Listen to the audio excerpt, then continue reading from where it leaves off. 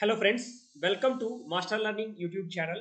In this video, I will discuss tiger reserves of Karnataka. Kali Tiger Reserve, it is located in Uttara Kannada district. Kali River flows through this tiger reserve. The combined areas of Anshi National Park and Dandeli Wildlife Sanctuary has been declared as Tiger Reserve. It is also known as Anshi Dandeli Tiger Reserve. Bhadra Tiger Reserve. It is located in Chikkamaluru district. Badra Wildlife Sanctuary has been declared as Tiger Reserve.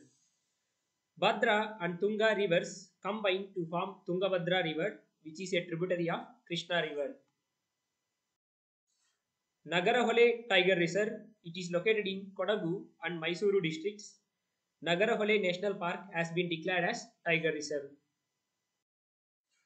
Bandipur Tiger Reserve. It is located in the borders of Mysore and Chamarajanagar districts.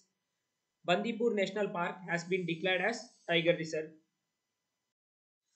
Biligiri Ranganatha Swami Temple Tiger Reserve. It is located in Chamarajanagar district. Biligiri Ranganatha Swami Temple Wildlife Sanctuary has been declared as Tiger Reserve. Thank you for watching the videos.